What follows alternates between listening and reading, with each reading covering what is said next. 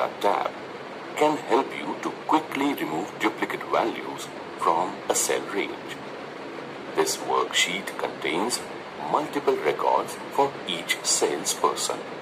Now, if you want a simple list of salespersons, how will you get it?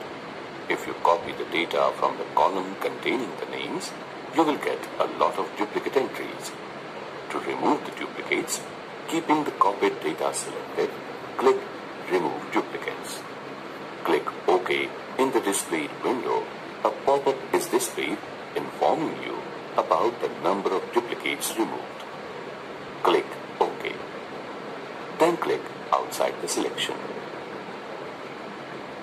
You now have a list of all salespersons without any duplicates. Data validation. The data validation icon is used to control the type of data that users enter into a cell. For example, you may want to restrict data entry to a certain range of dates, limit choices by using a list, or make sure that only positive numbers are entered.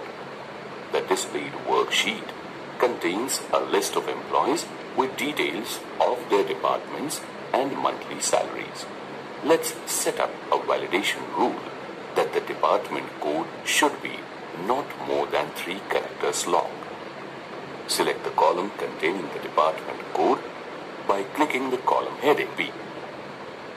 Now on the Data tab. In the Data Tools group, click Data Validation. The Settings tab of the Data Validation window is displayed.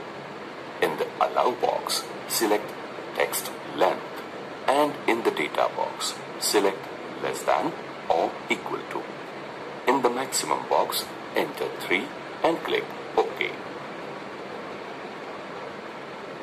Now, in the worksheet, enter the name of a new employee at the bottom of the list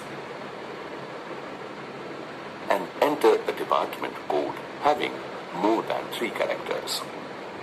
Press tab to go to the next cell. Excel will not allow this and displays an error message. Click cancel and enter a valid value. This time, pressing tab allows you to move to the next cell since the validation rule of three characters is satisfied.